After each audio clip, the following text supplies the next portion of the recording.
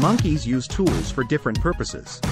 The world of monkeys showcases a remarkable spectrum of tool use, demonstrating their cognitive abilities and adaptability to solve various challenges in their environments. Different species of monkeys exhibit an array of tool using behaviors that range from cracking nuts to fishing for insects, and even grooming. Capuchin monkeys, for example, have been observed using sticks and other objects to extract insects from crevices.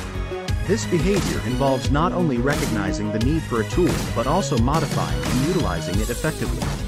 Japanese macaques, on the other hand, are known for their unique adaptation of washing sweet potatoes in seawater before consuming them.